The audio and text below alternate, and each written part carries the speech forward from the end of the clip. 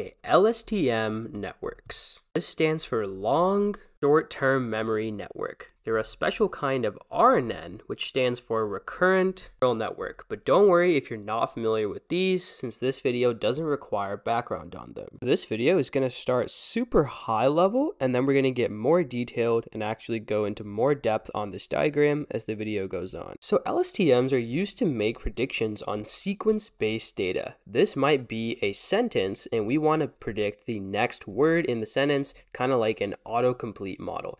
Or we might pass in stock prices. We might pass in a bunch of stock prices from different days, and we want to predict a future price. The transformer neural network, which I have a whole playlist on, and it should pop up somewhere in the top right in a second, is actually used more commonly these days. However, LSTMs, these neural networks over here, they're definitely still worth learning for a few reasons. One, they're actually still used in products like Google Translate, so they're not entirely obsolete.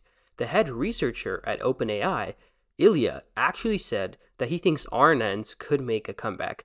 And last, understanding the issues with LSTMs. They're not perfect, help us actually understand why the transformer neural network over here was originally developed. By the way, if you're already familiar with the general idea of an RNN, you can skip to the timestamp in the description. Okay, so let's start pretty high level. Let's say we're building a model that is kind of like autocomplete. We want to predict the next word in some sort of sequence, aka a sentence. So let's say we have I grew up in France, I speak fluent, and then the model is supposed to predict what word comes next. We know that the word French should come next, but we want the model to actually be able to do this. So let's start over here. We're passing in some sort of input, x, into the model. And x is simply going to be our sequence, our sequence of words that we have so far. So this entire sequence over there. And then we get some sort of output. We get some sort of output, and we actually go ahead and pass something else, which we can see over here, back into the model. So back into the model over here, and then we have our sequence continuing again. When we actually unfold this, what we actually see is we have the initial time step. So we'll think of each token or each word in our sentence as some sort of time step.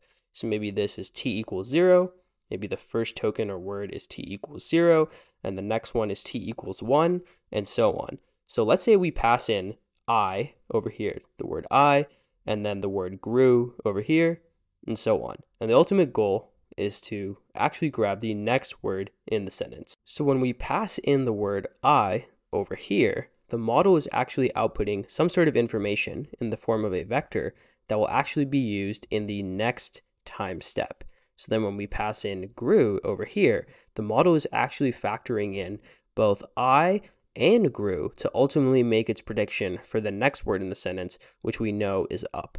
So the fundamental idea here is that the model can factor in the previous information to actually make a future prediction. The model can actually factor in words for all the way from the past rather than only the previous word, only the previous word that came in the sentence. For now, let's not really worry about all these symbols like V and H, and now let's go back to the general idea of an LSTM. So let's say that between those two sentences, we have a bunch of irrelevant information that isn't relevant for the model predicting which word should come over here.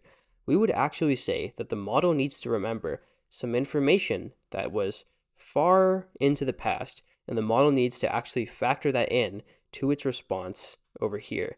That's where LSTMs come in. Now that we have a high level understanding of LSTMs, let's dive into these weird looking symbols and break down how they work. So the fundamental difference between a normal RNN and an LSTM is actually just what's going on inside this box over here the general idea of passing in information from our previous time steps, getting some sort of output, which we can see over here and over here, passing those in to the later time steps, where we also factor in whatever word is at our current time step, and simply continuing this, simply continuing this for further time steps until we get the output we're interested in, this fundamental idea remains the same. One of the core concepts behind LSTMs is this black line over here called the cell state. It actually runs through all the time steps, and the core idea going on inside this LSTM is simply to update all these operations that we see going on over here,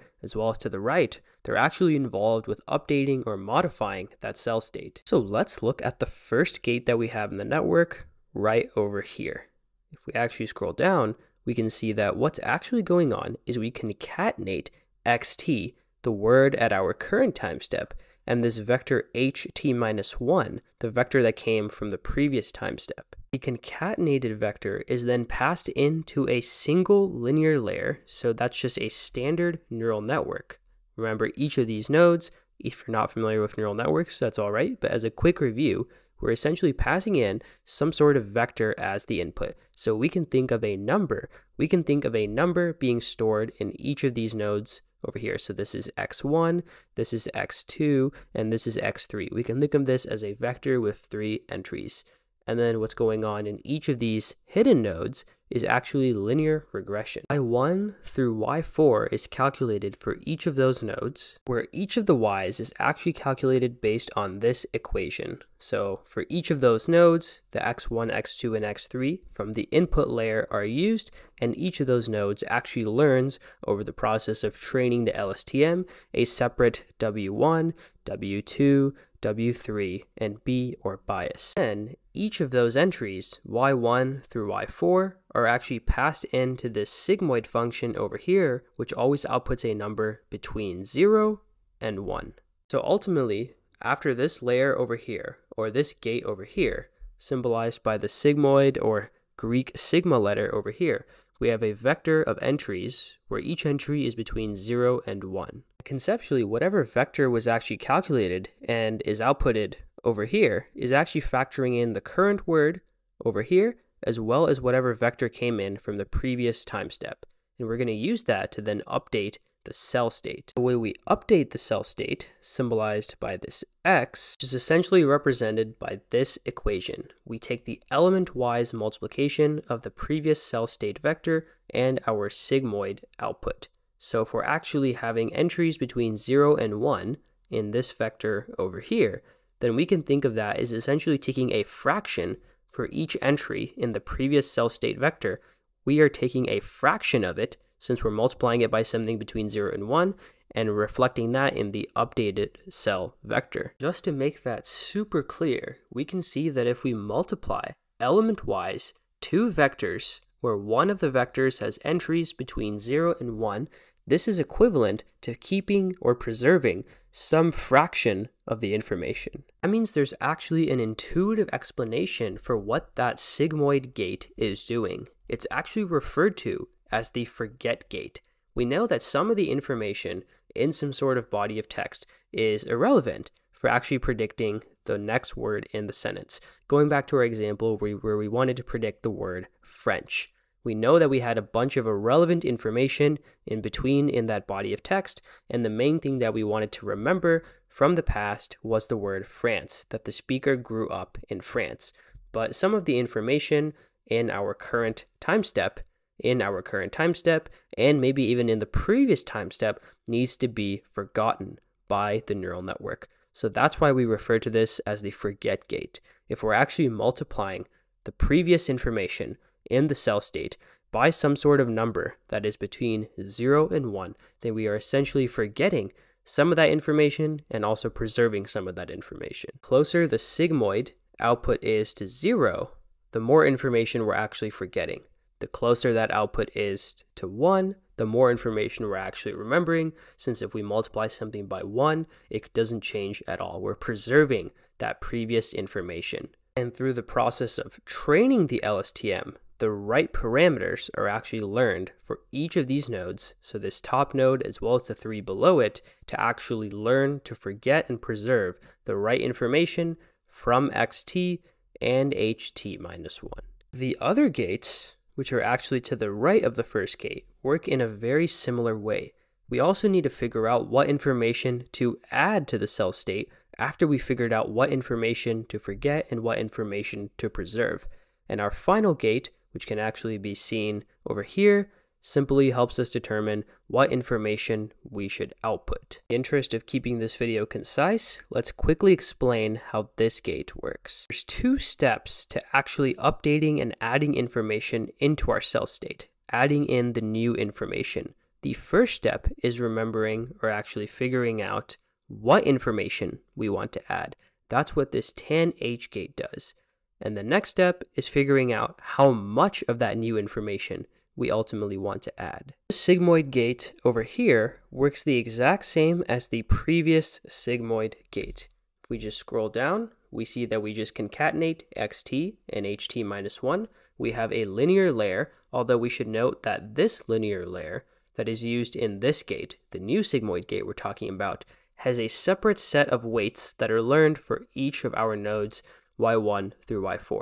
And we follow that up with a sigmoid function, which we can see over here. The tanh gate over here works extremely similarly. We're going to have a linear layer and we're going to have nodes in the hidden layer that are actually learning weights based on the xt and the ht minus 1 that are passed in.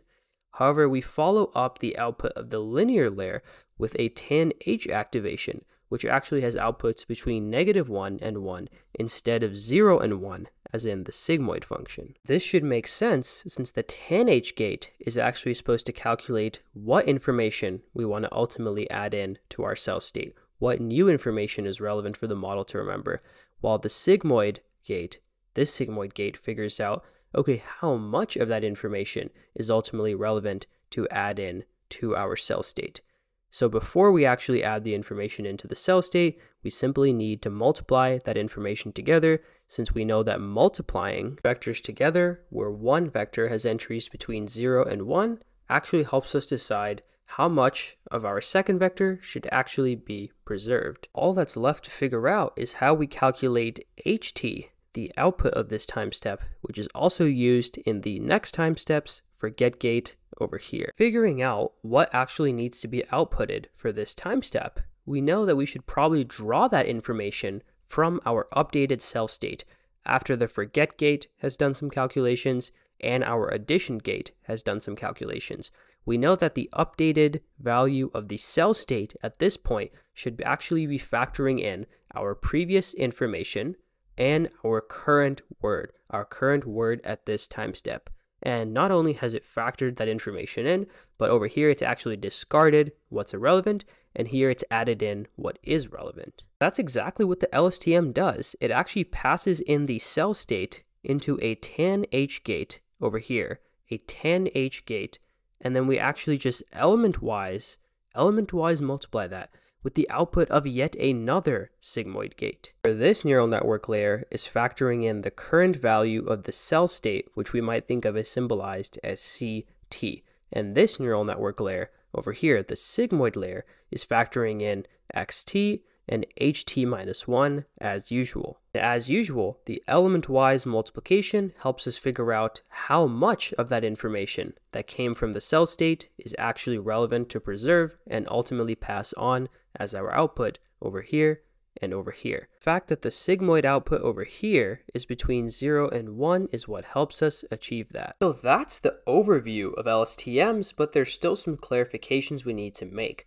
LSTMs aren't perfect and they have issues. Primary issue is we cannot take advantage of parallel processing as much as we would like to with modern GPUs. We need the outputs from previous time steps during training to actually calculate our future time steps. That means we're actually limited by the sequence length and the longer the sequence length, the longer training will take. Transformers, on the other hand, actually process all tokens, so tokens are essentially words at different time steps, in parallel. Next, it may be unclear, based on the, the concept overview we just gave, as to how to actually implement an LSTM and train it. We know there's going to be a lot of matrix multiplications, a lot of sigmoid functions, a lot of tanh functions. If you're interested in a video on implementing an LSTM, definitely leave a comment. Lastly, learning requires practice. That's why I've created a bunch of coding problems and quizzes, which should be popping up on the screen soon. They're all free on my website. Every practice problem has a video associated with it in the playlist that's about to pop up. So definitely check it out, and hopefully, I'll see you soon.